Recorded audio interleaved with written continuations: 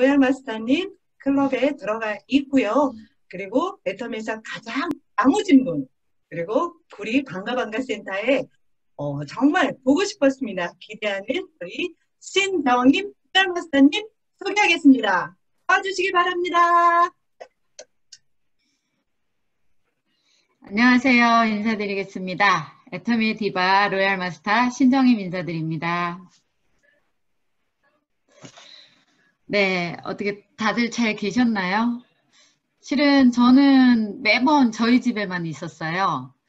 집에서 줌하고 집에서 파트너들이랑 놀고 그런데 남의 집에서 줌을 하기는 처음이에요. 남의 집으로 가서. 다른 분들이 몇 번 우리 파트너들을 위해서 줌 강의를 좀 해주시면 어때요? 라고 했는데 솔직히 이게 익숙하지를 않아서요. 굉장히 부담스러워서 다른 데는 안 간다고 못 간다고 얘기를 했거든요. 그런데 또 여기는 뭐 쟁쟁한 이용균 총장님, 김미숙 본부장님, 김태훈 총장님이 눈길을 보내더라고요. 안 오면 죽는다. 그래서 음, 용기를 내서 왔습니다. 그런데 지금 여러분에게 일단은 위로의 박수를 보내고 가고 싶어요. 어, 떻게 마음먹기에 따라 이게 괜찮을 수도 있지만 상황적으로는 뭐 실질적으로 어려운 상황에 있는 분들이 굉장히 많고 저희 애텀이 아니었고 다른 직업에 있는 분들도 많이 힘들어하고 계시는 분들이 있습니다. 그런데 저는 요즘에 어, 지난번에 석세스 아카데미를 보면서 거의 전율을 느낄 정도로 아, 온몸에 닭살이 돋을 정도로 전율을 느꼈거든요. 정말 회사가 이렇게 많은 발전을 하는구나 이것도 느꼈지만 또 한편으로는 야 신정임 너 진짜 대단하다. 너 진짜 실력 있는 사람이다. 어떻게 남들이 그렇게 다 반대하는 애터미를 알아먹었냐. 그리고 어떻게 이렇게 하다가 중간에 그만두는 사람도 많은데 너 잘 견뎠냐. 이러면서 너 진짜 잘했다라는 생각이 저에게 들기 시작합니다. 다른 분들은 세미나를 듣고 이런 감동을 느꼈어요. 이런 감동을 느꼈어요. 라고 얘기를 하는데 저 역시도 많은 감동을 느끼지만 마지막에는 항상 제가 저에게 칭찬을 보냅니다. 너 진짜 잘했다. 아, 지금 진짜 잘한 것 같아요. 저는 예전에 했던 직업들이 여러 가지였어요. 뭐 치과 기공사라는 직업도 했는데 어, 그 직업이 수입이 굉장히 많았습니다. 그런데 이 사람 이하고 똑같은 색깔의 이를 만드는 걸 포세린이라고 하는데요. 그걸 가루를 가지고 도자기 굽는 것처럼 하다 보면 그 가루가 몸속으로 들어가서 제가 폐에 문제가 생겼어요. 그래서 굉장히 고소득을 벌었지만 중간에 그만둬야 됐고요. 또 딱히 뭐, 뭐가 없기 때문에 어, 엄마한테 돈을 빌려서 화장품 코너를 조그맣게 하나 차려봤거든요. 그런데 뭐 누구한테 뭘 사라고 말도 잘 못했던 사람이니까 그냥 앉아서 손님만 기다리면 손님들이 오셔서 언니가 바른 립스틱 주세요. 언니가 바른 뭐 헤어 오일 주세요. 뭐 이런 식으로 해서 사가기만 했는데요. 그뭐 그닥 그렇게 어렵진 않았어요. 그러니까 치과 기공사를 해서도 화장품 당사를 해서도 뭐 힘들다 이런 생각 안 들게 괜찮았었어요. 그런데 그게 남들 노는 날 계속 가게문을 열어야 되는 거예요. 근데 그때만 해도 너무 젊었고 남들 놀러 갈 때 같이 놀러 다니고 싶고 또 남편이랑 시간을 보내고 싶었는데 다들 놀러 갈 때 저는 가게 문을 혼자 열어놓고 가게에 앉아 있어야 되는 게 쉽지가 않더라고요. 그래서 아 나 정말 안 하고 싶다 라고 했을 때 저희 남편이 저에게 제안을 합니다. 당신 어렸을 때 꿈이 치과 의사라면서 공부 한번 해볼래? 저희 남편도 치과 기공사였고 저도 치과 기공사여서 어, 제가 치과 의사가 되면 그 병원에 기공실을 하나 만들어 놓고 저는 의사 생활을 하고 남편은 기공물을 만들면 우리 뭐 먹고 사는 데는 아무 지장 없겠다고 그래서 제가 화장품 코너를 또 과감하게 접고 고3 수험생하고 똑같이 새벽에 5시에 일어나서 밤 12시 1시까지 공부를 합니다. 지금 생각하면 어떻게 했나 몰라요. 그런데 그땐 또 나름대로 공부가 너무 재밌었어요. 그래서 부지런히 하다 보니까 3년 6개월 만에 수능 400점 만점에 384점이라는 고득점을 맞았어요. 아, 좀 놀라는 척이라도 좀 해봐요. 아무도 안 놀라네. 네. 그런데 어, 그 점수 가지고 점수가 모자라서 치대를 떨어졌어요. 남편이 학원비 내주죠. 아이는 시부모님이 키워주죠. 그리고 또 집 살려고 또 달달이 집을 위해서 또 돈을 저금하죠. 굉장히 많은 돈을 벌어서 저한테 투자를 하고 부모님한테 투자를 하고 했, 했는데 3년 6개월을 공부를 했는데도 치대를 못 갔어요. 근데 그때 참, 야, 나는 왜 이것밖에 안 되지? 라고 처음으로 한번 느꼈어요. 진짜 죽고 싶더라고요. 남편에게 너무 미안하고 아이에게 시어머님에게 미안하고. 그런데 그때 제가 또 너무 감사하게 수학을 만점을 맞았어요. 아, 이번엔 와 안 하셔도 됩니다. 잘 찍어서. 어떻게 만점을 맞다 보니까 주위에서 그걸 알게 됐고, 그러면 한번 과외 선생님 해보는 건 어떻겠느냐, 수학.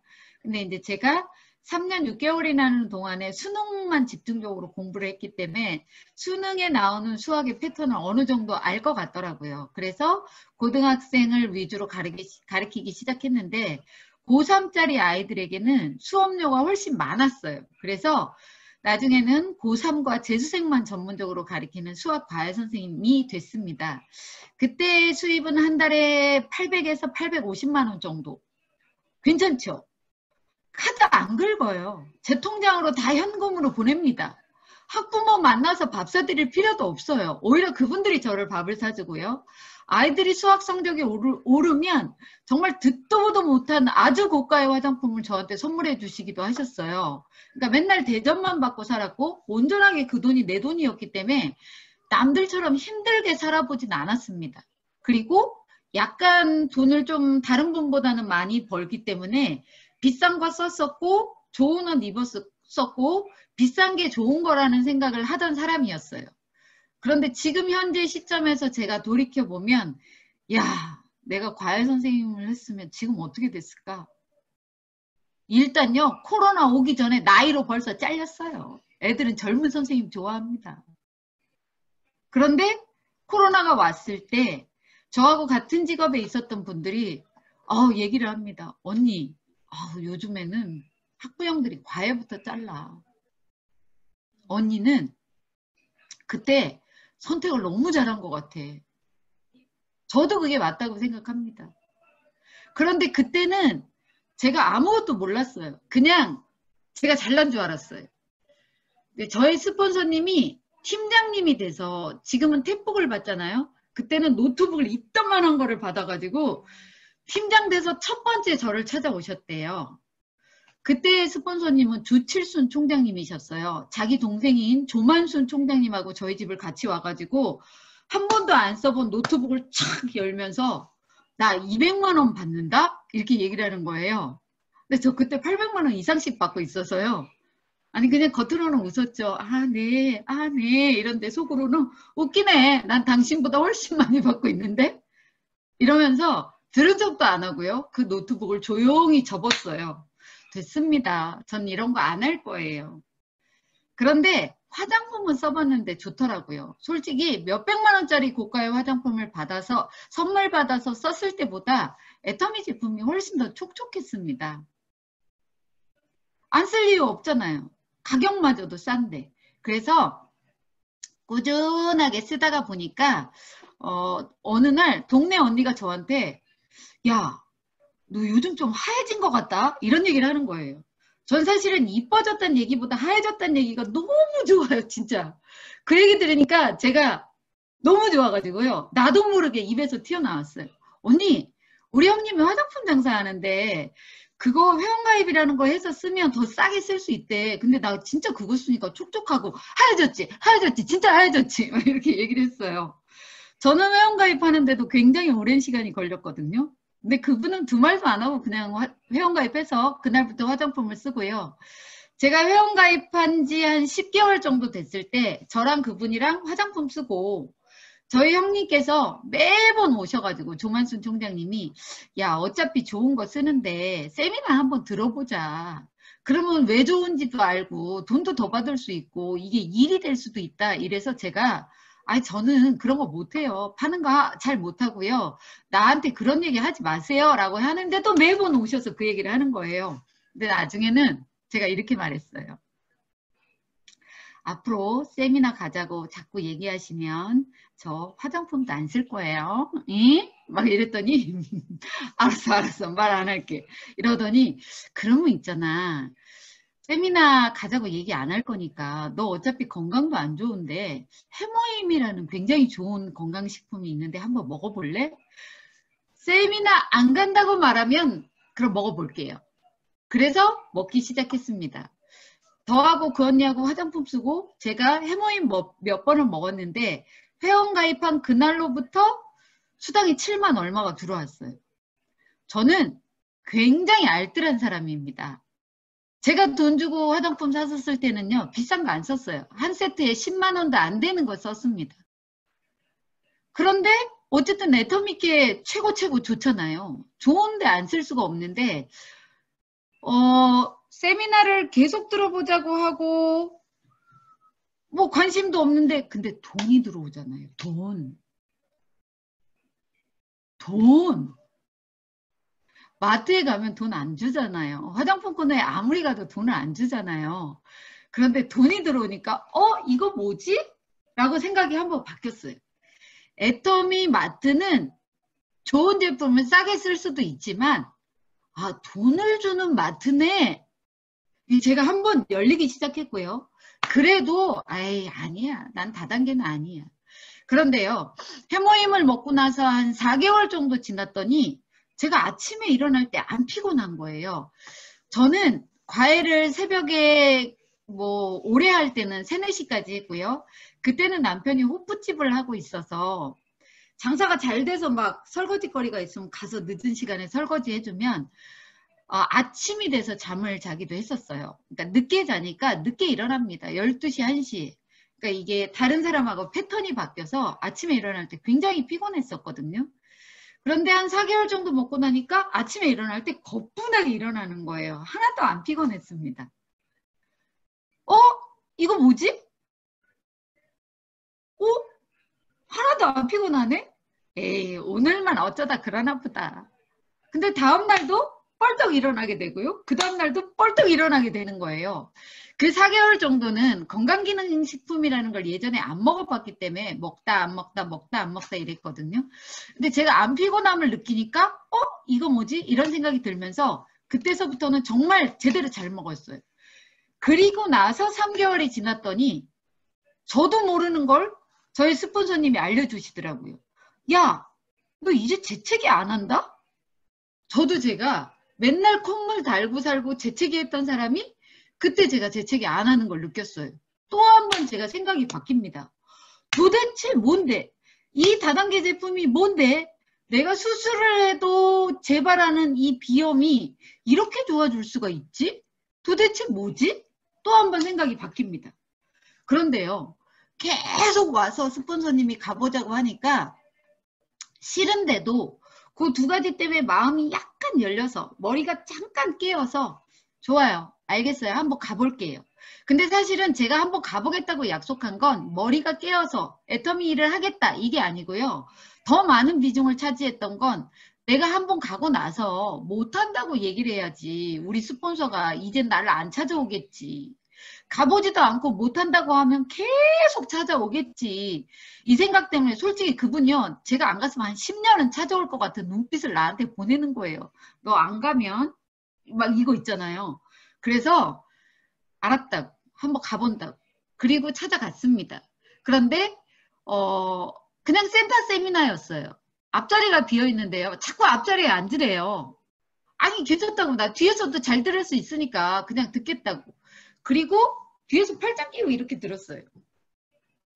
그때 듣다 보니까 나도 모르게 팔짱이 쫙 풀리면서 어 이거 뭐지? 그때 그 세미나에서 저에게 꽂혔던 얘기가 있어요. 이 일을 해서 어느 정도의 수입까지만 만들어 놓으면 그때서부터는 당신이 일을 안 해도 되는 연금성 소득이 나옵니다. 그때는 연금성이라는 얘기를 쓰라고 해서 썼습니다. 근데 지금은 연금성이라는 얘기를 쓰지 말래요. 안정적이고 지속적인 고소득이 나온다. 이렇게 말을 하래요. 근데 저는 그 소리에 깜짝 놀랐어요. 실은 과외를 하면서도 내가 50이 넘으면 과외를 계속할 수 있을까? 아이들은 저처럼 늑다리 선생님 안 좋아합니다. 아가씨 선생님 좋아하고요. 젊은 선생님 좋아해요. 그러니까 저도 모르는 불안감을 가지고 있었는데 그 세미나에서 안정적이고 지속적인 고소득이 된대요. 그걸 제가 알아먹고요. 그날 저희 스폰서에게 스폰서님 나 이거 해볼래요. 그땐 스폰서님이라고 안 했죠. 형님 나 이거 해봐도 되겠어. 그랬더니 우리 형님이 좋아했을까요? 좋아했을까요? 반응들을 보니까 뭐 좋아했을 것 같다라는 반응이네요. 안 좋아했어요. 기분 나빠했어요. 왠지 아세요? 자기가 1년을 넘게 그렇게 애터미 애터미 애터미 얘기할 때는 들은 척도 안 하다가 세미나 한 번 가가지고 모르는 강사 얘기 듣고 한 번에 하겠다고 하니까 기분 나쁘더래요 솔직히 아니 뭐 그런데 기분 나쁘면서도 내가 이걸 해보겠다고 하니까 또 기분 좋아하시더라고요 근데 솔직히 아는 사람도 없어요 파는 것도 잘 못해요 그런데 제가 그 좋은 직업을 내팽개치겠어요? 안 하지. 그래서 그 과외도 하면서 애터미도 같이 병행을 했어요. 솔직히 자신도 없고. 제가 지금 이 자리에 있을 거라고 그때는 감히 상상도 못했고 생각도 못했습니다. 그런데 그래 좋아. 나는 어차피 능력이 이런 거에는 없으니까 두 가지를 한번 병행해보지. 그리고 이제 시작을 합니다. 제가요 진짜 평상시에 도움을 많이 드렸던 언니를 찾아갔어요. 언니, 내가 1년 동안 화장품을 써보니까 어쩌고 저쩌고 어쩌고 저쩌고 얘기를 했더니 그 언니가 그 얘기를 다 듣고 나서 저한테 딱 한마디 합니다. 야, 난 그딴 거 안 써. 와, 그날 세상이 무너지는 것 같았어요. 아니, 제가 처음 찾아간 사람은 제가 평상시에 도움을 많이 드렸던 분이라서 내가 말하면 무조건 오케이 해줄 줄 알았어요. 아, 그리고 오케이 해줘야 당연한 거예요. 내가 그 언니를 얼마나 도와줬는데. 아, 지금 갑자기 생각하니까 열받을라 그러네요. 그런데, 그런데요. 그 언니가, 야, 나 그딴 거 안 써. 이 소리에 제가, 내가 평소에 도움을 그렇게 많이 줬던 분도 이렇게 하면 난 도대체 인생을 잘못 산 거 아닌가? 그러면서, 에휴, 내 주제에 무슨 다단계야, 무슨 애텀이야. 내 하는 일이나 제대로 잘해야지. 이렇게 했습니다. 그리고 집에 들어 누워 있었어요. 안 한다고. 그랬더니 스폰서가 또 찾아왔어요. 누워있는 저를 쿡쿡 찌릅니다.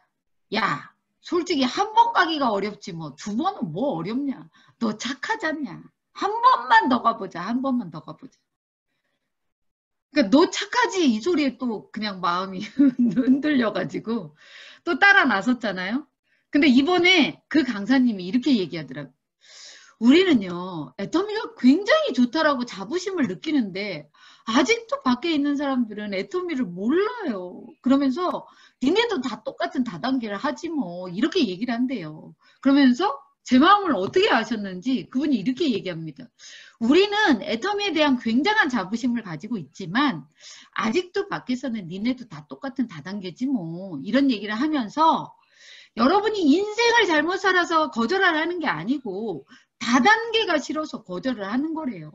전 상당히 긍정적인 사람입니다. 그래서 완전히 다운돼서 땅바닥을 헤매고 있던 그 사람이 그 얘기 한마디에 다시 어! 이렇게 돼가지고 그래 다시 한번 해보는 거야. 이렇게 마음을 먹고 또 또 그나마 만만찮고 괜찮은 언니를 찾아갔어요.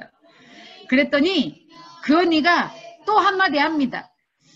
야 나는 샷땡밖에 안 써. 아니 진짜 옷은 그지같이 입고 다른 건 돈 없다고 맨날 그러면서 진짜 샷땡 쓰는지 궁금한 그 언니가 나는 샷땡밖에 안 써 이러더라고요. 제가 어떻게 했을까요? 이번에도 또 들어 누웠어요. 그런데 그때는 첫 번째는 일주일 들어 누웠거든요. 근데 이번에는 3일밖에 안 들어 누웠어요. 내성이 생기더라고요. 지금 여기 듣고 계시는 분이 400명이 훨씬 넘었네요. 거의 500명 가까이 되는데요. 지금 이 얘기를 듣고 있는 이분들 중에서도 오늘 내가 누구한테 가서 말했을 때 거절하면 괜히 힘 빠질 거예요. 그러지 마세요. 누구나 거절 안 받고 그 위에 성공자가 된 사람은 아무도 없습니다.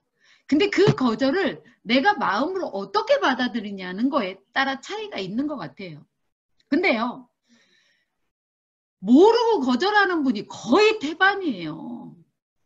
아니, 그리고 박한길 회장님이 10년을 넘게 계속 애터미를 해도요, 아직도 안 하는 징그러운 인간들도 있어요. 그러니까 내가 못해서 나 때문에 거절한다 그런 생각 아예 하지 마시고요. 거절을 이기는 되게 좋은 방법이 있는데 오늘 특별히 알려드릴까요?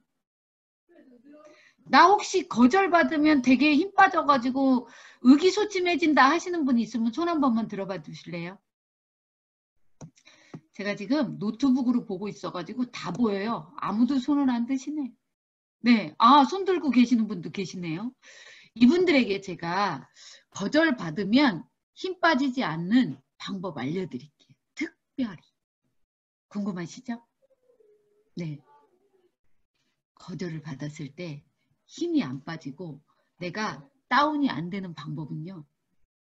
오늘부터 한 100명씩 만나서 계속 거절 받으세요. 그러면요. 나중에 내성이 생겨. 아무렇지도 않아. 그리고 거절 당하잖아요. 그럼 웃어요. 음, 네. 그리고 속으로는 어이 등신 이렇게 되는 거예요. 지만 모르는 거지. 우린 다 알고 있는데 이 좋은 걸안 쓰면 자기만 생활비 많이 들어가는 거지. 뭐. 지금 아직도 거절받으면 속상하고 막 의기소침해 지시는 분은 더 받으세요. 거절. 그럼 됩니다.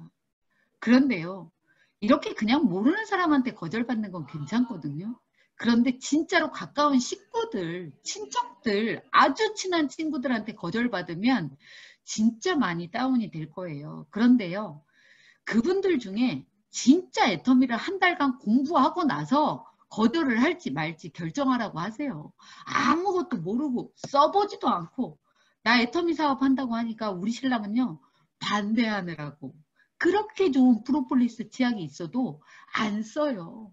맨날 나한테 심부름 시키고 뭐 떨어지면 슈퍼 가서 뭐 좀 사다 줄래? 뭐 좀 사다 줄래? 소연 엄마 뭐 좀 사다 줘. 이랬던 남자가요. 치약 사러는 자기가 나갑니다. 2080 치약 사가지고. 그런데 지금 애터미 열심히 하고 있는 저희 딸도요. 프로폴리스 치약 안 쓰고 5년도 2080 썼어. 아주. 그런데요, 써보지도 않고, 들어보지도 않고 반대를 하잖아요, 그 사람들이.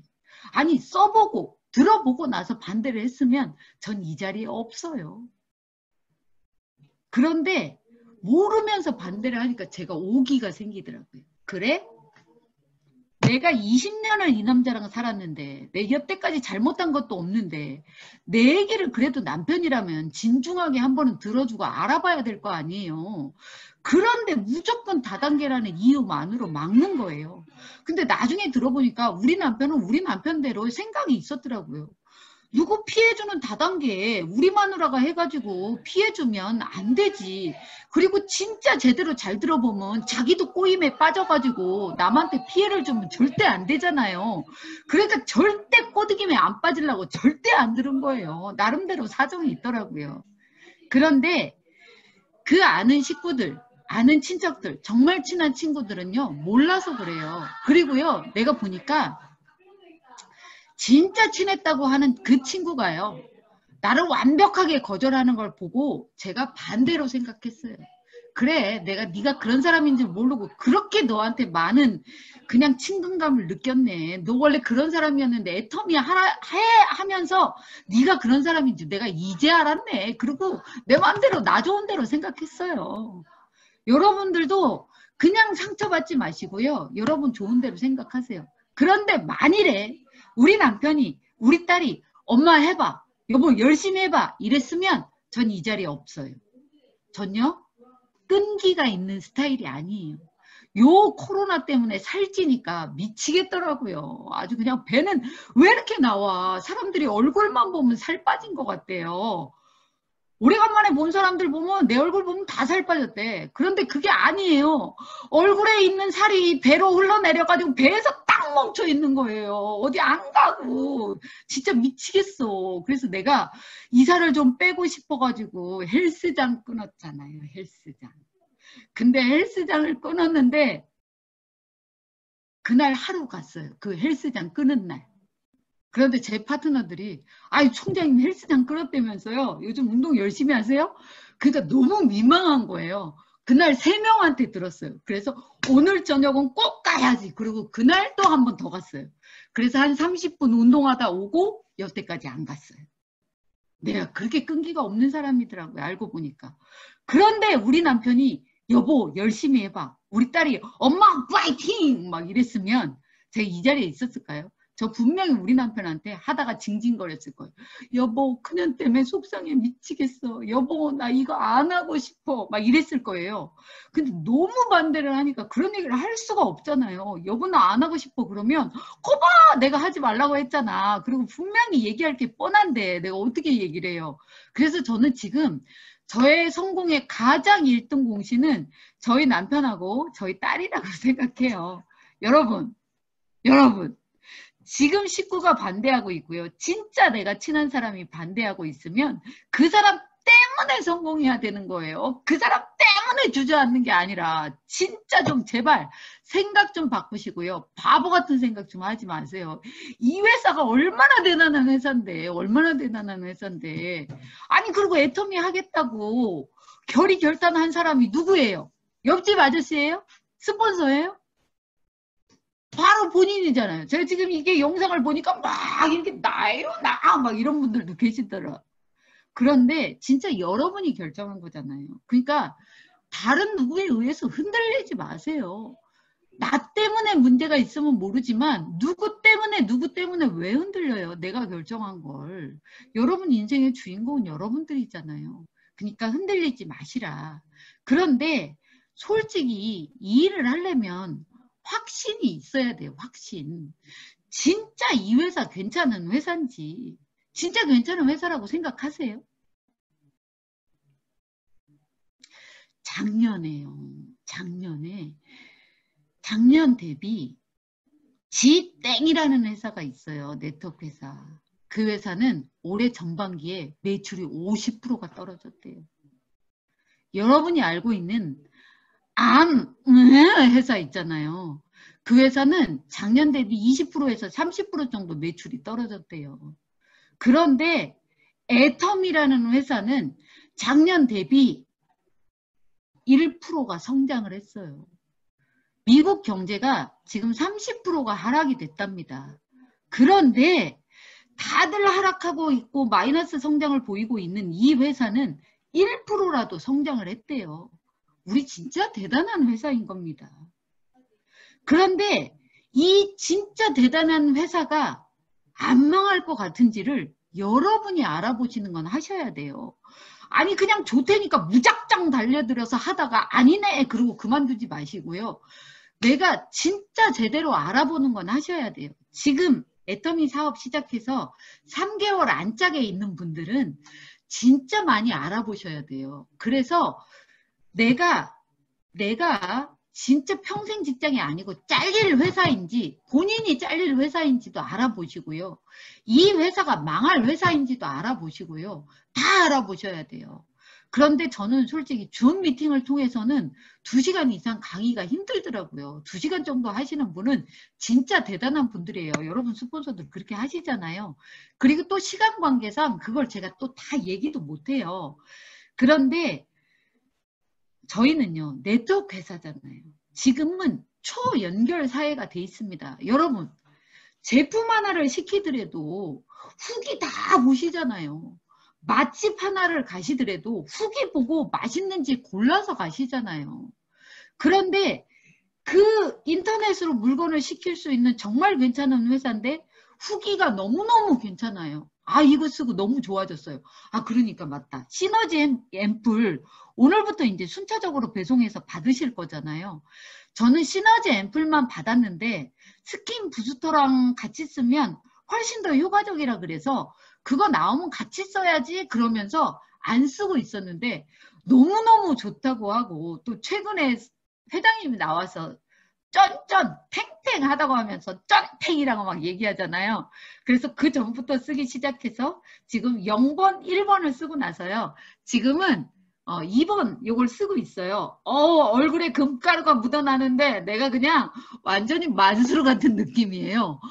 너무너무 좋아요. 진짜. 혹시 제 피부 괜찮다고 생각하세요? 괜찮다고 생각하시는 분 고개만 끄덕, 어, 그 리액션. 너무 좋아요. 솔직히 꼭 뭐 면 대 면으로 하는 것만 리액션 아니고요. 이 영상에서도 충분히 리액션 가능하고요. 막 지금 오바 하시는 분 계셔요. 이런 분은 성공한다? 막 이런 분은 성공하신다? 그런데요. 진짜 이, 아, 네, 좋습니다. 진짜 이 회사 제품이 생필품으로 구성되어 있잖아요. 굳이 따로 돈을 주고 쓰지 않고 어차피 생활비로 써야 되는 그런 생필품이잖아요. 아니 화장품 안 쓰는 여자 있어요? 다 쓰잖아요. 회사가 안 망할 것 같은지 이 회사 제품이 진짜 좋은지 그래서 내가 누구한테 얘기를 해도 다른 사람이 아우 전혀 소개시켜 준 거 아니야. 이런 소리가 안 듣고 어 진짜 네가 소개시켜 준 거 너무 좋더라. 내 피부 좋아진 것 같지 않니? 막 이렇게 얘기할 수 있을 정도로 제품이 좋은지 이거는요 제품 강사님의 말을 듣고 판단하는 것도 좋아요. 그렇지만 가장 중요한 건 내가 쓰고 느껴보고 내가 좋다라고 생각을 해야 됩니다. 여러분 요즘에는 센터에서 만날 수가 없잖아요. 팩이 아니 요 카카오톡이 여러분의 단체방이 가상의 센터라고 생각하세요. 그 센터에서 만나야 되고요. 저 오늘 무슨 일을 했는데요. 라고 말하고요. 저녁 되면 팩해서 올리시는 거 하시는 분들 많잖아요. 본인의 하루하루 하루 일상을 찍어서 알려주세요. 그럼 또 어떤 분한테 많이 올라온다고 질투하지 마시고 막 있잖아요. 막 이런 거 엄청 많아. 누가 뭘 하나를 올렸어요. 그러니까 제가 바쁘다가도 볼 때가 있잖아요. 그럼 그냥 한 번 올려줘요. 그리고 그분 또 다른 분이 올렸을 때는 못 올려줄 수도 있거든요. 이모티콘. 근데 제가 이모티콘 한 번 누르는 게 얼마나 부담스러운지 몰라요. 제가 한 번 올려주면 총장님은 쟤만 좋아해. 내가 올릴 때는 올리지도 않아. 카카오톡. 막 그러지 마시고요. 여기서 누가 올리면 형제 라인이 올라오면 아우 잘했어요. 이뻐요. 라고 해주세요. 그러면 여러분 올릴 때도 같이 해주실 거고요. 뭐 김태훈 총장님, 김미숙 본부장님, 이용균 총장님이 특 정한 한 분한테만 막 그렇게 하진 않을 거예요. 그러니까 그냥 어쩌다가 안 바빠서 저 사람한테 올린 거겠지 그렇게 생각하시고요. 막 질투하지 마시고요. 아셨죠? 그리고 또 여러분이 열심히 노력하는 그 모습을 보이시면 또 일부러 이, 상, 이 사람 거는 좀 더 올려줘야지 이런 마음 가지실 수도 있을 거예요. 그런데 가상의 센터니까 내가 팩해서 올리다 보면 솔직히 저희 파트너 중에 3년을 하루도 안 빠지고 팩을 하신 분이 계시거든요. 근데 그분이 일을 잘하지는 않는 것 같아요. 제가 봤을 때. 근데 성실한 거 하나는 진짜 인정해줘야 되는데 예전에는 그분이 저기서 와도 안 보였어요. 근데 지금은 그분이 200m 와, 앞에 와도 제가 눈이 좋아서 딴 사람은 잘 안 보여요. 근데 그분은 압니다. 왠 줄 아세요? 200m 전에서부터 빛이 나, 빛이.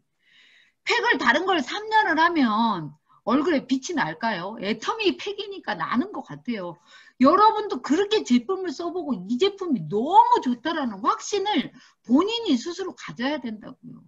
제가 오프라인 세미나에서도 맨날 물어봤던 얘긴데요. 오늘은 오프라인 안 들었던 분들도 있을 수도 있으니까 한번 물어볼게요. 지금 이 영상에 제 피부가 혹시 30대로 보이는 분 계시면 손 한 번만 들어주실래요? 와, 네, 좋습니다. 좋습니다. 지금 알고도 들고 계시는 분도 있고요. 또 모르고도 들고 계시는 분도 계시는데요. 지금 손 드신 분들은 다 성공해. 얼마나 긍정적이에요. 얼마나 긍정적이에요. 그런데 지금 손 드신 분들은 끝나고 루테인 드셔야 되는 거 아시죠? 네. 이게 있잖아요. 진짜 쓰다 보면 내가 스스로 놀랄 정도로 괜찮은 제품인지 그런 확신이 있어야 돼요. 그 다음에 마케팅 플랜 가지고 이 마케팅 플랜이면 나 같은 사람에게 도움이 될까? 이거에 대한 정확한 확신이 있어야 돼요. 제가 솔직히 이 얘기는 별로 하고 싶지 않은데 그래도 할게요. 뭐냐면 저는 애터미 한 지 10년이 조금 넘었고요. 어, 지금은 연봉 2억자 클럽입니다. 뭐 코로나가 오든 난리가 오든 간에 지금 제 2억은 안 떨어져요. 그런데 저보다 훨씬 늦은 시기에 사업을 하신 분이 계시는데 저보다 직급이 더 높은 분이 계세요. 그분하고 저하고의 차이점이 뭐지? 아, 그분도 열심히 하고요. 저도 열심히 하는 거 누구에 비해서 안 뒤지게 정말 열심히 했다고 생각해요. 그런데 그분은 나보다 늦게 시작했는데 더 빨리 갔고요. 저는 뭐 지금도 마, 지금 다른 직업에 비해서는 만족해요. 애터미에서는 한참 더 올라가야 되지만. 근데 저는 그분보다 늦은 이유가 뭘까라고 고민해 봤어요. 그랬더니 알고 봤더니 이 확신의 문제더라고요. 그분은요. 처음부터 수학 선생님도 아니었어요. 숫자 계산도 잘 못해요. 근데 난 수학 선생님이고 숫자 계산도 잘하잖아요. 근데 저는 못 느꼈던 걸 그분은 느끼고 확신이 왔대요. 앞으로 5년이 지나고 10년이 지나면 내 파트너 100만 명은 될 건데 아무리 못해도 몇십만 명은 될 건데 뭐.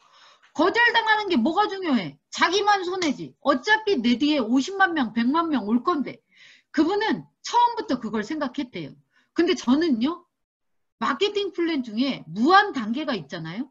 그걸 머리로만 이해한 거예요 가슴으로 이해 못했어요 아니 내가 쓰고 뭐, 뭐, 아직 확신을 못 느끼는데, 내가 말한 그 사람이 거절을 하는데, 어떻게 내 뒤에 50만 명, 100만 명이 와? 말도 안 돼.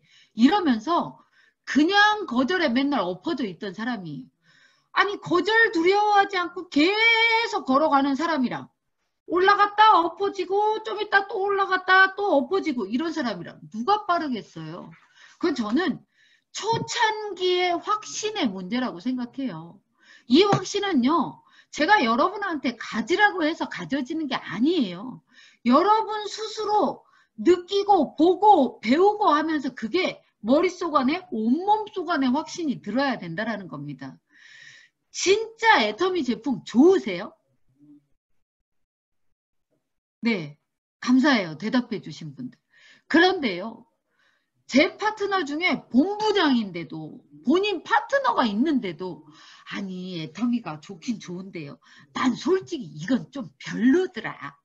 아니 자기가 별로면 자기 혼자만 입 다물고 스폰서한테 얘기하든가 왜 파트너 앞에서 얘기를 하냐고요. 사장님들도 마찬가지예요. 웬만하면 부정적인 거 나 혼자만 안고 계시고요. 정 못 참겠다 그러면 1544 8580에 전화해서 이게 왜 이래요? 이건 물어보시되 자기 파트너 있는 데선 제발 그 얘기 좀 하지 마. 제발.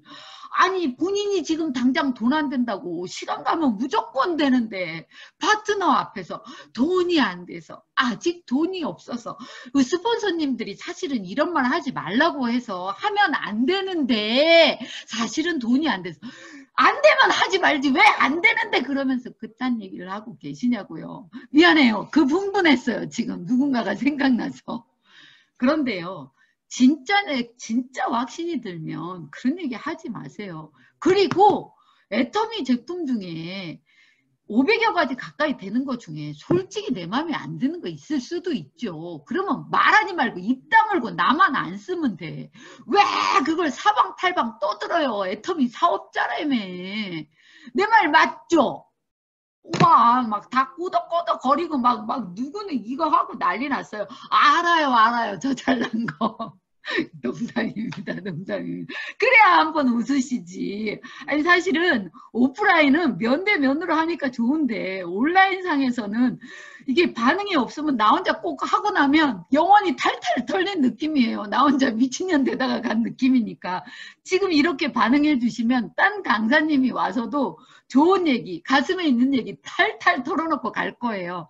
그러니까 너무 잘해 주시고 계시고요. 여기는 진짜로 다른 데보다 교육받은 것 같아요. 잠, 잠깐 여담으로 한마디 하자면 제가 다른 라인에서 강의는 안 해요.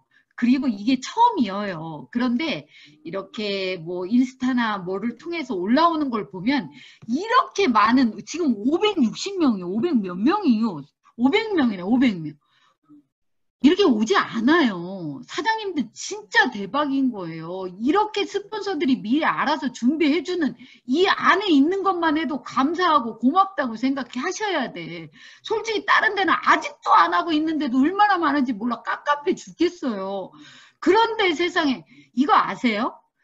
100명 넘으면 돈 더 내야 돼. 그냥 줌보다도. 시간도 40분 넘으면 돈 더 내야 돼.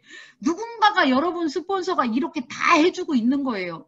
이렇게 다 판까지 깔아놨는데도 안 들어와. 그리고 들어와서 자기 얼굴 공개 안 해. 그리고 들어와서 자기네들끼리 떠들어. 으유, 진짜. 이거는 이제 번외 얘긴데요. 제발 그러지 마세요. 그리고 강사 얘기에 열중하는 건 좋은데요. 나도 모르게 내 거 스피커가 켜져 있을지도 몰라요. 그럼 한번 보고 끄라고 옆에 있는 분한테 얘기하지 말고. 아주 그냥 저희 파트너들도요. 중 강의하다 보면 이런 거 얼마나 잘 올라오는 줄 아세요? 300m 앞에서 좌회전. 네, 운전하면서 듣는 건 좋습니다. 제발 스피커 좀 켜지 마시고요. 얼굴도 좀 공개해. 내가 이렇게 보니까 이쁜 분, 잘생긴 분 너무 많구만. 내 솔직히 지금 여기 와가지고 사장님들 얼굴 보고 강의할 만 난다, 나. 얼마나 이뻐. 그냥 그냥 반짝반짝 빛나네. 아, 나 사담하다가 어디까지 했는지 까먹었어요. 어디까지 했더라? 아, 확신, 확신. 아, 이렇게 까먹은 척 해도 좋잖아요. 사실은 진짜 까먹었다. 그런데 회사에 대한 확신, 제품에 대한 확신, 아까 그 보상 플랜 있잖아요. 진짜로 내 뒤에 무한 단계로 100만 명 와요.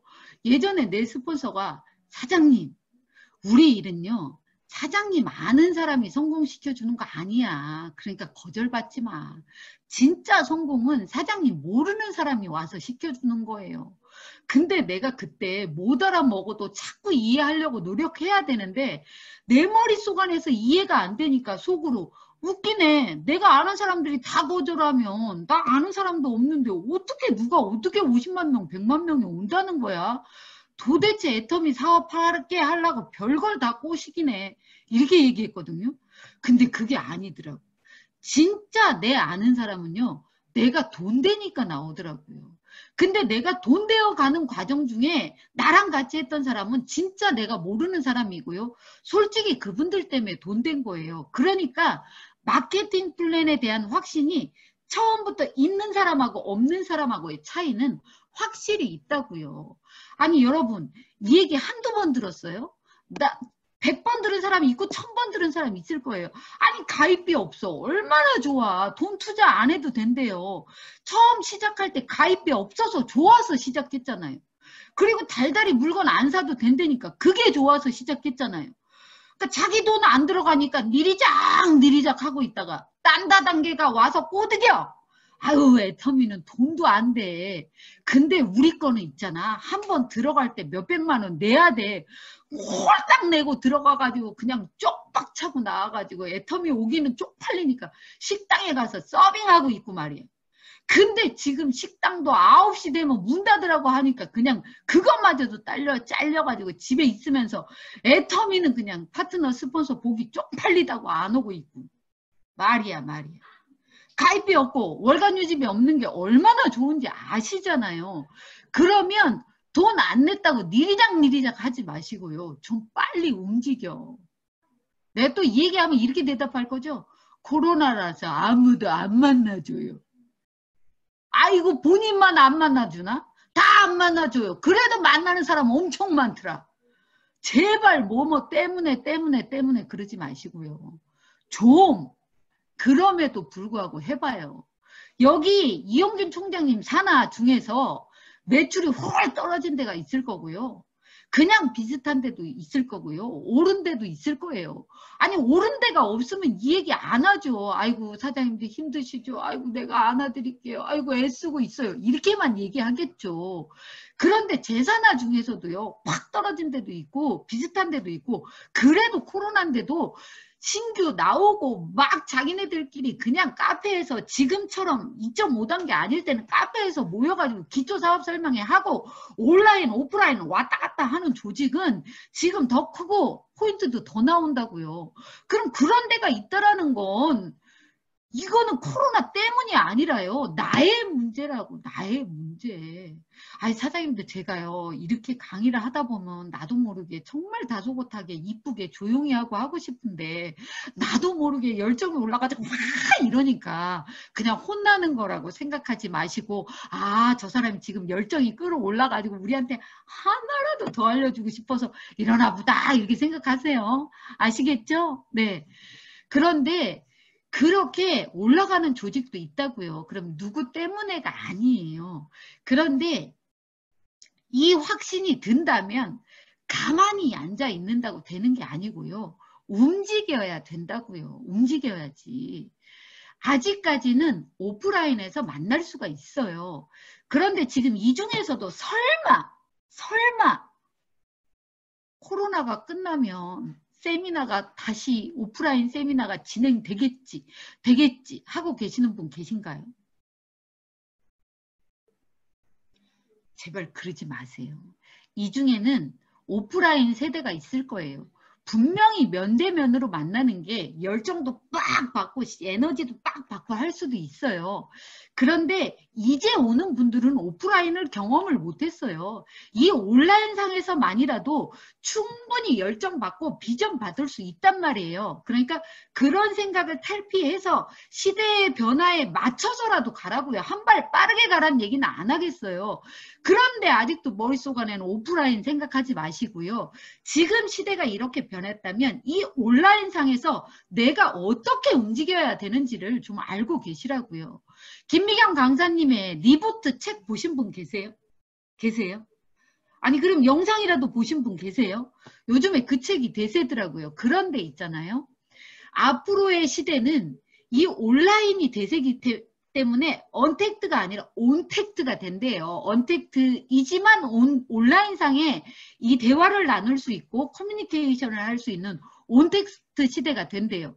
그럼 여러분들은 스폰서님들이 이 줌 미팅을 잘 만들어 놔서 이 안에 들어오면 되지만 이 안에 들어오는 거 수동적인 거 플러스 여러분이 오프라인 온라인에서 자꾸 무언가를 해야 돼요.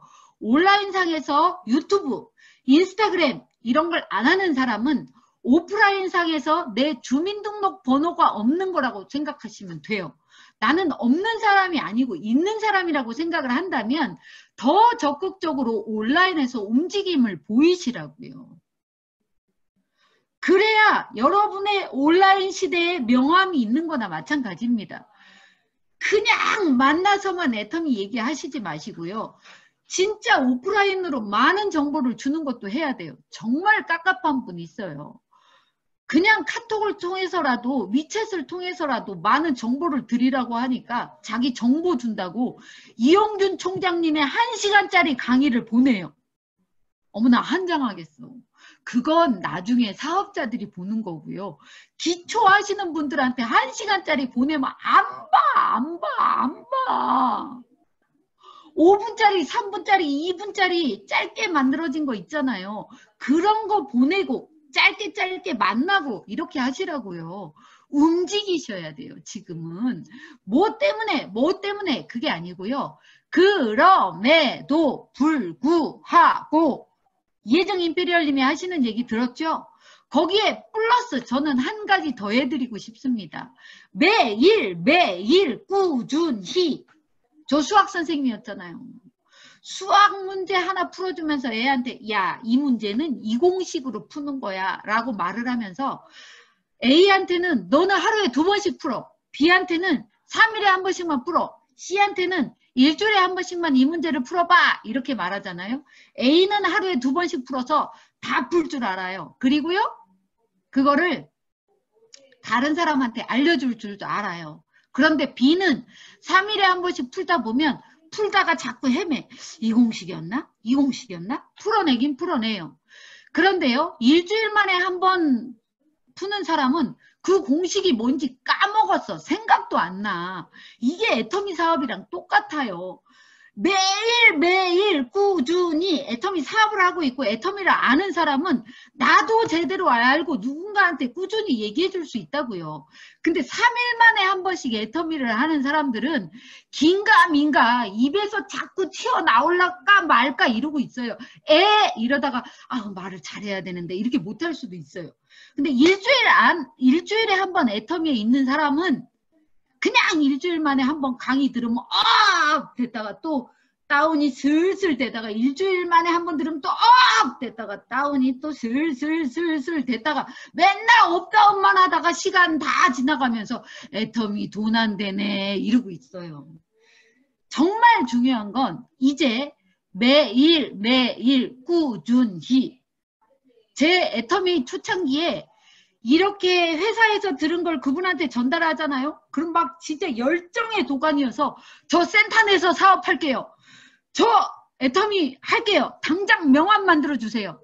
이런 사람은요. 지금 남아있는 사람이 없어. 막 세상을 다 씹어 삼킬 정도로 3개월 일하다가요. 없어지는 사람도 있어요. 그러니까 매일 매일 꾸준히 그걸요. 최소한 1년, 2년, 길게 잡아 3년까지 하세요. 매일매일 꾸준히. 그 진짜 중요합니다. 여, 러분 아시잖아요. 초등학교 다닐 때는 벼락치기 해도 시험 잘 봐. 근데 고등학교 다닐 때는요. 아무리 벼락치기 하루 만에 공부해도요. 그 다음날 시험 못 봐요. 누구한테 안 되냐? 매일매일 영어 단어 외우고 매일매일 수학 문제 푸는 애들한테 절대 안 돼요. 애터미도 마찬가지예요. 그럼에도 불구하고 있지만요. 매일 매일 꾸준히 진짜 중요합니다. 근데 매일매일 꾸준히 하라 그러면 아무 생각 없이 줌 미팅에 참여했다가 점심 먹고 천천히 나가서 한두 명 만났다가 오고 이게 아니고요. 오늘 내가 누구를 만나고 어디를 가고 몇 포인트를 일으킬 건지에 대해서 오늘 할 게 미리 어제 나와 있어야 되고요. 요번 주에 움직일 게 저번 주에 미리 나와 있어야 된다고요. 아무 생각 없이 돌아다니면 시간만 낭비가 된다고요. 공부 잘하는 애들은 시험 문제 받으면 바로 풀어제끼지 않아요. 시험 문제 딱 보고 이 문제를 무슨 공식에 대입해서 풀까? 이런 생각을 하고 푼다고요. 여러분도 마찬가지예요. 그냥 아무 생각 없이 나가지 말고요. 명단을 작성해서 누구를 만날 거고 얘는 얘는 성향이 이런 사람이니까 이런 얘기를 해주면 좋을 것 같고 이런 걸 한번 생각해보고 나가시고요.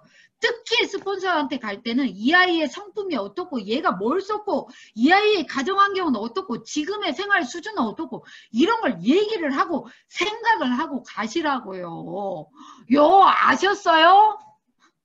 네 진짜예요. 그렇게 하셔야 됩니다. 매일매일 꾸준히 그런데 미리 계획을 세워놓고 생각을 하고 가시라고요. 언제 auto 판매사 되실 거예요?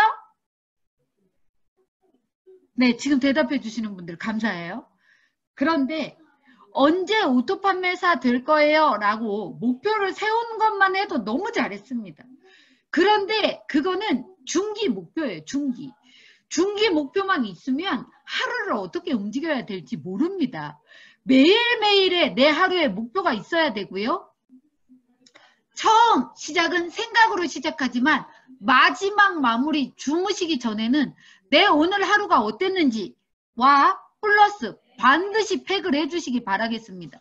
저는요, 애터미의 제품 강사를 했는데도 저는 나름대로 피부가 뽀얘졌다고 생각을 했는데 김미숙 본부장님이 저한테 얼굴이 너무 칙칙하다고 하면서 너는 제품 강사가 피부가 왜 그 모양이냐? 나는 매일매일 팩을 해서 피부가 이렇게 좋아졌다. 아니, 그, 솔직히 그분 피부 보면 진짜 같은 여자로서 너무 부럽잖아요. 난 솔직히 이쁜 여자 하나도 안 부러워. 피부 하얗고 피부 고운 여자가 훨씬 부러워요. 그러니까 엄청 부럽다고요. 그랬더니 제품 강사, 애터미의 명색의 애터미의 제품 강사가 맨날 맨날 팩도 안 하냐고 저한테 구박을 했어요. 네 언니 알겠습니다. 그리고 그날부터 열심히 하다가 보니까 제 얼굴 좀 봐보세요. 네? 얼마나 올라붙었어요. 올라붙었어요. 지금 사실은 저를 보면 저희 딸하고 같이 다니면 딸은 상당히 기분 나쁘겠지만 뭐 언니예요? 막내 이모예요? 이렇게 얘기하는 분들이 얼마나 많은데요.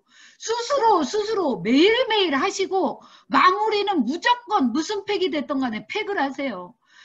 저는요 요즘에 좀 재수없는 얘기지만요 시간이 너무 남아서요 일일 2팩도 하고요 일일 3팩도 한답니다 그래서 예전보다 훨씬 많이 좋아졌어요 진짜로 애터미 제품 너무 좋으니까 매일매일 꾸준히 사업 계획을 세우고 하루의 마무리는 팩으로 해라 라고 말씀드리고 싶어요 그리고 이제 진짜 여러분에게 말씀드리고 싶은 건 이거예요 뭐냐면 진짜 애터미를 하고 싶고 애터미에서 조금 더 빠른 성공을 하고 싶다면 전 반드시 이거 하라고 말하고 싶어요. 이게 뭘까요? 이게 뭘까요? 네, 뭐 지금 대답하고 있는 분도 계시고 네, 좋습니다. 표정이 이게 뭘까는 너만 알지 왜 나한테 물어보냐 이렇게 뭐 표정을 짓고 계시는 분도 계시네요. 진짜 애터미에서 빠른 시간 안에 조금 더 나은 성공을 하고 싶으면 변화하셔야 됩니다. 뭐라고요? 변화. 아무리 예전에 훌륭한 직업을 가지고 예전에 아무리 좋은 돈을 많이 벌었었고 본인의 인품과 인격이 아무리 괜찮은 분이라 할지라도 애터미에 와서는 반드시 변화해야 돼요. 고등학교 교장 선생님을 하셨고 인품적으로 너무 훌륭한 분이 애터미를 몰입해서 하기 시작합니다. 정말 괜찮은 분이 한 2개월, 3개월 지나니까 연세도 있고 인품도 너무 괜찮은 분이 왜 나는 안 도와주는 거야 라고 하면서 징징거리는 분도 계시더라고요. 제가 그때 느꼈어요. 아 무슨 직업이고 어떤 인품이었냐가 중요한 게 아니구나. 어떤 사람이 되더라도 애터미에 오면 일단은 변화가 돼야 되는구나. 저는요 예전에 과외 선생님을 10년 이상 했기 때문에 아니 그냥 아이들만 만나서 편안하게 과외하면 되잖아요. 굳이 정장 입을 필요 없었어요. 청바지에 티 얼마나 편해요. 돈도 안 들어가는데 돈도 많이 남아요. 그런데 애텀이라니까 스폰서님들이 사업자처럼 보여야 된다. 당신이 잡상인 취급을 받으면 안 되지 않겠느냐.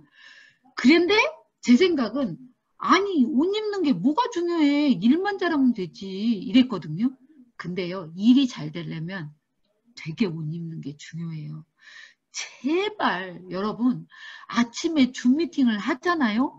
그럼 줌 미팅이 끝나면 바로 나갈 준비 태세로 줌 미팅을 들으셔야 돼요. 아침에 느리작거리고 일어나가지고 화장도 안 하고 눈곱 낀 얼굴로 줌 미팅 집에서 반바지 입고 잠옷 입고 대충 하지 마시고요. 제발 변화하셔야 돼요. 이건 절대 시간을 가져야 되니까 줌 미팅이 끝나면 바로 나갈 준비 태세로 먼저 부지런하게 아니 나는 12시 1시에 일어나는 사람이었어요. 그렇게 게을러 빠지고요. 태생적으로 난좀 게을러요. 잠도 많아요. 그런 내가 애터미를 하면서 새벽 4시에 일어나서 지방을 갈 때는 정말 지각 안 하고 가요. 그리고 약속은 잘 지켜야 된다는 사람이고 미리 앞서 나가야 된다는 사람이기 때문에 진짜 그렇게 잠많은 제가 변화했어요. 여러분은 뭘로 변화하실 건가요? 제가 애터미 할 때 저희 남편이 굉장히 많이 반대한 건 아시죠? 그런데 사장님들 그거 아세요? 요 사랑하는 사랑의 눈빛하고 내가 좀 돈이 되는 눈빛하고 이건 속일 수가 없다. 다른 건 속이는데 돈 되니까 막 웃고 다니잖아요. 내가 200만 원 이상이 되면 솔직히 그때서부터는 머리 끝부터 발끝까지 확신이 들어요. 애터미는 되는 거라고. 근데 어떻게 웃음이 안 나와요. 실실 웃고 다녔더니 저희 남편이 저한테 저 여자가 뭔가 되긴 되나 봐. 그러면서 애터미 세미나를 들어보러 가게 됐어요. 그랬는데 우리 남편도 저처럼 박한길 회장님 강의 한 번에 그냥 뿅 갔어요. 내가 돈을 못 벌더라도 저런 사람이랑 일을 한다면 나 해보고 싶어 이런 생각이 들었대요. 그러면서 제가 200만 원 넘어서부터 이제 저희 남편이 나오기 시작했는데 애터미를 시작하면서 진짜 환장하겠더라고요 내가. 여보 이 일은 제품 한 가지 한 가지를 쓰게 하는 게 중요한 거야. 그냥 형 믿지? 좀 이런 얘기 좀 하지 말라고. 알았다고 얘기를 하면서도요. 자기 아는 후배한테 전화해요. 야! 너 형 믿지? 이거부터 얘기해요. 그럼 저 뒤에서 믿는다고 그랬나 봐요. 전화기 너머로. 형이 진짜 괜찮은 사람 하나 알았는데 네 나랑 할래?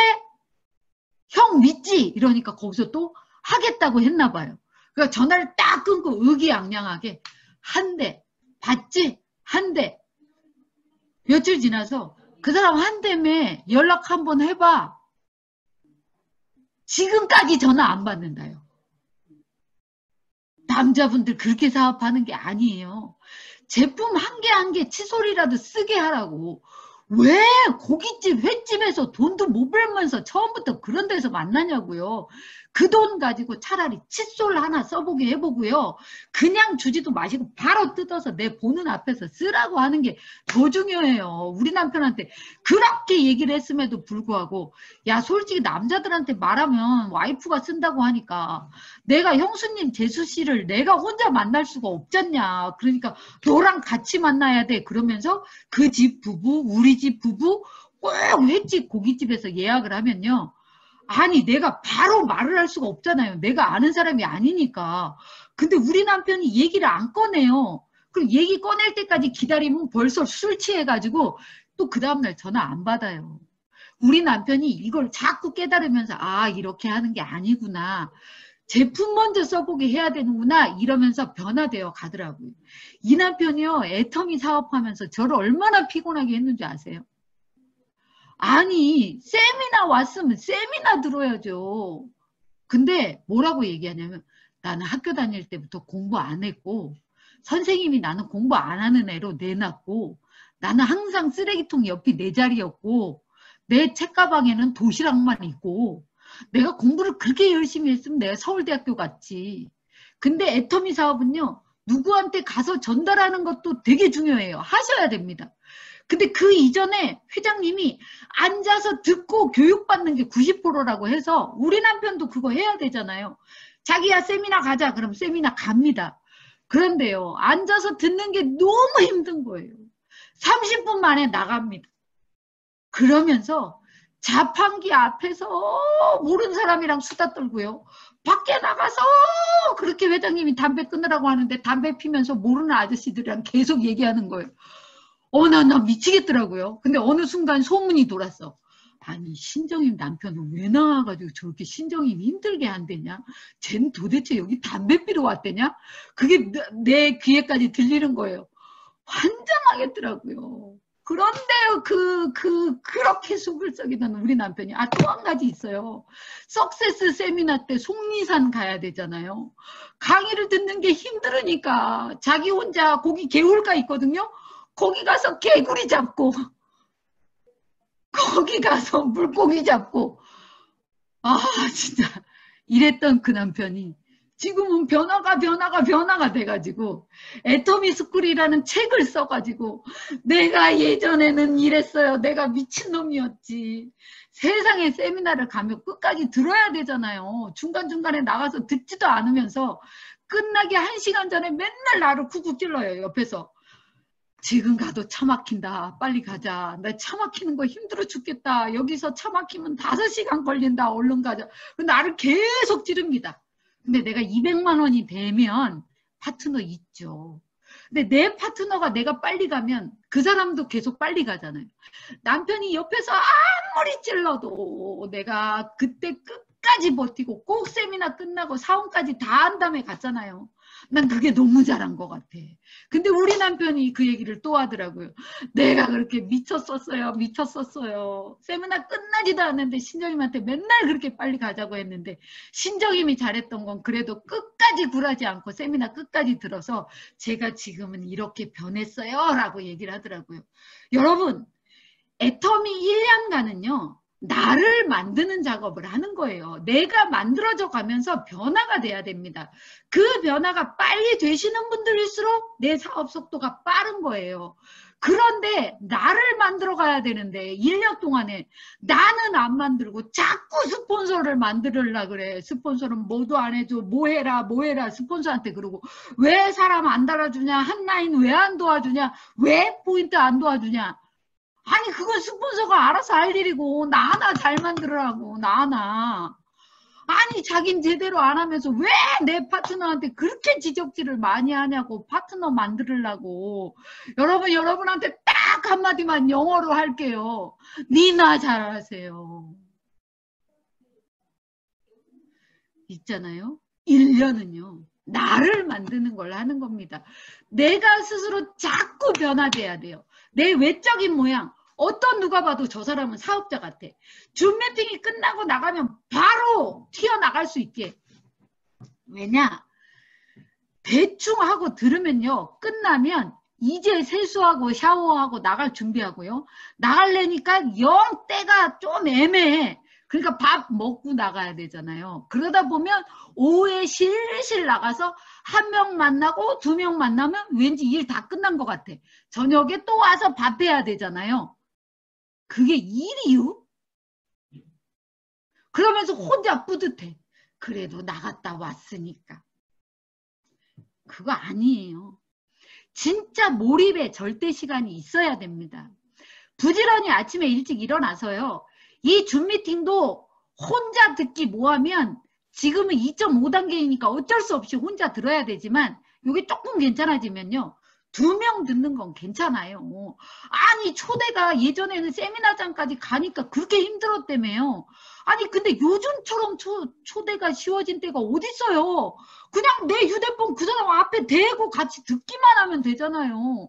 그런데도 맨날 혼자만 듣고 맨날 나 혼자야. 그걸 누구 탓을 하겠어요. 내 탓이지. 아니 뭐 한 시간 한 시간 반 듣는 거 어디 가는 것도 아니고 차비도 안 드는데 같이 듣자고 하면서 들으면 되잖아요. 준비 싹 하고 이쁘게 하고 가서.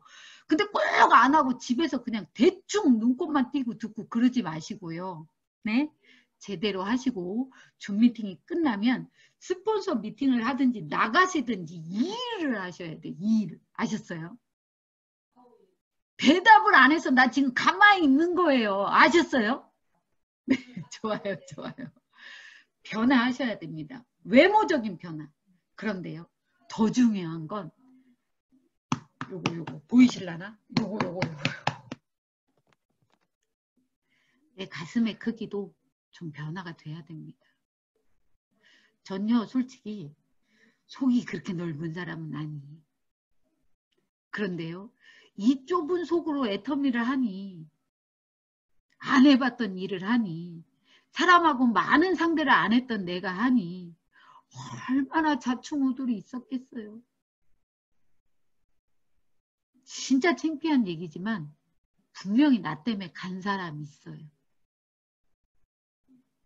그 사람한테 미안하긴 하지만 그래도 내가 안 그만둔 나에게 진짜 잘했다 감사하다라고 말하고 싶어요. 그런데 이 좁은 속 그대로 하면요. 지금의 이 조직은 안 컸을걸요. 그나마 조금 조금씩 조금씩 키워져 가니까 조금 나아지고 조금 나아지고 아직도 큰 사람 되려면 너무 멀었어요. 근데 왜 속이 좀 가슴이 커져야 되냐면 가슴이 안 커지면 내가 상대방한테 상처를 주기도 하지만 여러분 스스로가 상처를 너무 많이 받아요. 아니 싫은 사람, 미운 사람이 있으면 요 줌에 내가 꼴보기 싫어하는 사람이 있으면 솔직히 들어오는 거 부담스럽잖아요. 회장님께서 이렇게 얘기하셨어요. 세숫대에다가 소금을 한 바가지를 넣으면 짜대요. 근데 넓은 호수에다가는 소금을 한 바가지를 넣어도 아무 반응이 없대요. 여러분들의 가슴이 넓은 옷이면 남이 소금을 한 바가지를 찌끄러도 아무렇지도 않다고요. 그러니까 여러분 사업이 잘 되고 여러분이 좋으려면 조금 더 참아내고 이겨내고 괜히 삐지지 마시고 그러지 마시고요. 아니 여러분 잘 되라고 한 스폰서 얘기를 전체적으로 하는 얘기를. 저거 분명히 이용준 총장이 저거 나들으라고 한 얘기일 거야. 그러면서 삐져가지고 들어가지 마시고요.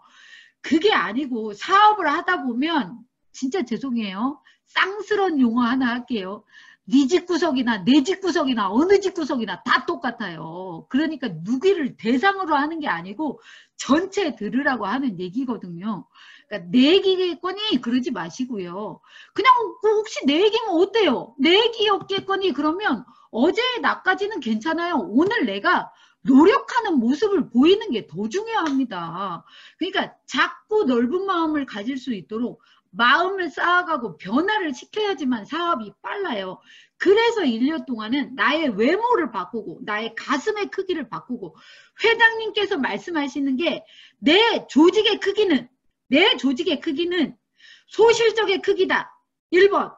두 번째, 네 가슴의 크기다. 이렇게 했어요. 여러분, 소실적이 작고 싶으세요? 크고 싶으세요? 다 들려요. 크고 싶다고요? 네. 그 크고 싶으면 오늘부터 내좀 마음에 안 드는 사람이 있더라도 자꾸 그 사람의 긍정적인 면만 보세요. 그래야 여러분이 가슴이 편하고 여러분이 좋아요. 여러분 마음이 상처가 안 되고 기분이 좋아야 일도 잘 되는 거예요.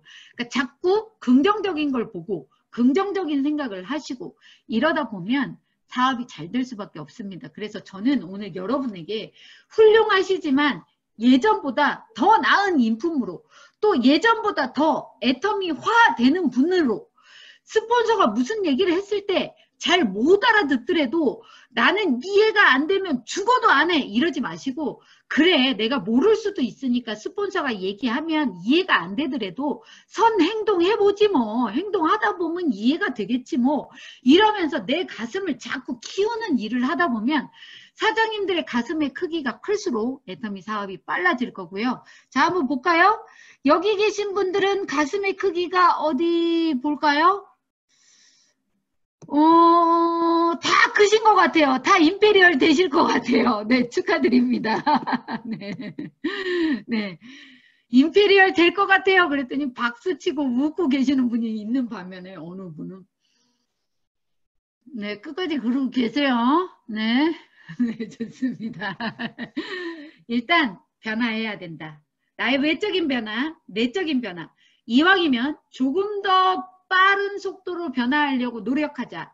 그 빠른 속도로 노력하는 방법은 이해가 안 되면 행동을 안 하는 게 아니라 아직 이해가 안 되더라도 일단 스폰서가 얘기하는 건 행동해보고 움직이고 나다 보면 이해가 되겠지. 이런 마음으로 가시면 되고요. 실제적으로 애터미 하시는 분들께서 애터미는 한 3년 돼야 맑게 알아먹어. 이렇게 얘기하는 분 많이 보셨죠. 그런 얘기 많이 들으셨죠. 지금 제가 하는 얘기가 멕시코 언어가 아니잖아요. 중국어가 아니잖아요. 한국말로 한국 분들에게 얘기하고 있잖아요. 지금 뭐 물론 외국 분들도 계시지만 그런데 제 얘기를 못 알아먹겠어요. 다 알아먹지. 그런데 왜 3년 돼야 맑게 알아먹느냐고 얘기했냐면 듣고 나서 행동을 안 하면 아직 맑게 못 알아먹은 거고요. 행동을 하면 맑게 알아먹은 거예요. 제가 오늘 뭐라고 얘기했냐면 매일 매일 꾸준히 오늘 누굴 만날 거고 오늘 몇 포인트를 얻을 거고 누, 누구한테 애터미 STP를 몇 명한테 할 거고 이런 것들을 들었으면 그걸 행동으로 하는 건 맑게 알아먹는 거고요. 아 좋은 얘기네 그러면서 행동 안 하는 건 아직 맑게 못 알아먹는 겁니다. 확실하게 맑게 알아먹는 의미 이해하셨나요? 네, 좋습니다. 그래서 빠른 속도로 변화하려고 노력해라 라는 거 네, 어, 해주시면 될 것 같습니다. 아 죄송해요. 얼굴이 너무 크게 나온다고 좀 뒤로 가서 해달라고 하는 걸 제가 이제 봤네요. 조금 뒤로 물러날게요. 한 10분 동안 작은 얼굴을 보여드리도록 하겠습니다. 네, 음, 그 다음에 이런 얘기 하고 싶습니다. 지금은 뭐 긍정적인 분들은 이 안에 오셨을 거예요. 그런데 또 일을 하다 보면 부정적인 분들도 계시고 또 이 안에 오신 분들 중에서 나름대로 어렵고 힘든 점이 있을 거예요. 근데 코로나가 아니어도 애터미 사업을 하다 보면 힘들 때가 있습니다. 왜 이런 거 있잖아요. 어, 저 상대방이 혹시 많이 아프대요. 죽을 병에 걸렸대요. 그럼 그분 보고 어머 어떻게 어머 어떻게 안 됐네 이렇게 마음을 먹지만 오늘 당장 내가 몸살이 나가지고 죽겠으면 그분 아픈 것보다는 내 아픈 게 더 힘들게 느껴지거든요. 맞죠? 그러니까 지금 힘든 분들도 힘든 거고 예전에 내가 힘들었을 때도 힘든 거예요. 애터미가 쉬운 일이긴 하지만 이 힘듦을 견뎌내야 돼요. 근데 왜 힘드냐? 애터미 안 어려워요. 쉬워요. 쉬운데 쉬운 일을 자꾸 똑같은 일을 반복을 하게 하니까 그게 어려운 거예요. 그런데 어렵다고 안 하면 안 되는 겁니다. 이 어려움을 이겨내야 되는 거예요. 여러분 혹시 서정주 시인의 국화 옆에서 라는 시 아십니까? 한 송이 국화꽃을 피우기 위해 봄부터 소쪽새는 그렇게 울었나 보다. 한 송이 국화꽃이 가을에 핍니다. 그 한 송이 피기 위해서 봄부터 소쪽새는 울었어요. 그런데 하물며 국화꽃이 피는데도 그렇게 오랜 시간 이미 무언가를 하고 있어야 되는데 우리는요. 애터미 성공자면 대단한 거예요. 그런데 그 성공이 그냥 좋은 길로만 간다? 네버 절대 아닙니다. 저는 애터미 초창기에 매일매일이 괴로웠어요. 과외할 때보다 훨씬 더 많은 시간 일을 합니다. 그런데요. 결과치는 없어요. 돈은 안 돼요. 힘들다고 느꼈습니다. 시간이 지나가면서 괜찮아진 거예요. 하루하루를 보면 오늘도 별로, 내일도 별로, 모레도 별로 안 되는 날들이 계속 모이다가 보니까 이래서 되겠어? 라고 고민을 했었어요. 그런데 지금 제가 와서 보니까 저의 안 되는 날들이 차곡차곡 차곡 모여서 3년 6개월이 되니까 리더스 클럽 멤버가 됐습니다. 여러분 매일매일이 즐겁고 매일매일이 좋은 일만 일어날 수밖에 없습니다. 안 되고 그 좌절이 되지만 그만두지 않고 이 날짜들이 모이면 여러분은 어느 순간 성공자가 되어 있습니다. 여러분 찬란한 아침이 되려면요. 아주 깊은 어둠이 있어야 돼요. 따뜻하고 꽃피는 봄이 오려면 아주 추운 겨울이 있어야 돼요. 지금 여러분의 이 어려움, 이 힘듦, 이게 있지 않고는요, 여러분의 성공의 꽃은 피지 않습니다. 이걸 견뎌내야지만 꽃이 피는 겁니다. 언제까지나 그 어려움 속 안에 처박혀 있지 마시고, 아, 신정님도 이걸 견뎌내면 꽃이 피었대, 성공했대, 까짓거 맨날 어려움이 모이면 성공자가 된다니까, 나 오늘 참고 내일 참고 까짓거 3년만 참아보지 뭐. 그리고 차근차근 내가 변화되면서 매일매일 할 일을 하다 보면 나도 성공자가 되겠지 뭐. 그런 생각 안 드세요? 오늘부터 매일 매일 꾸준히 내가 좀 가슴이 작다면 조금 더 크게 내가 외모적으로 훌륭하지 않다면 조금 더 아름답게 특히나 여자분들 여자 중에 못생긴 여자는 절대 없답니다. 게으른 여자가 있을 뿐이래요. 얘기하면 남자분들은 예외라고 생각하지 마시고요. 우리 제품의 가장 주력 상품 화장품입니다. 남자도 비비 쓰고 선크림 써야 돼요. 그러면서 이뻐지고 멋있어져면 나중에 사업은 잘 될 수밖에 없고요. 사장님들은 반드시 임페리얼 마스터가 될 겁니다. 조금 힘들고 어려운 상황이지만 꿋꿋하게 버텨서 모두 성공자 되시기 바라면서 이상으로 마치겠습니다. 감사합니다. 네, 역시 감동과 열정이 대단하십니다. 오늘 열정적으로 강의해 주신 신정임 노얄 마스터님께 다시 한번 뜨거운 감사의 박수 보내드리겠습니다. 감사합니다.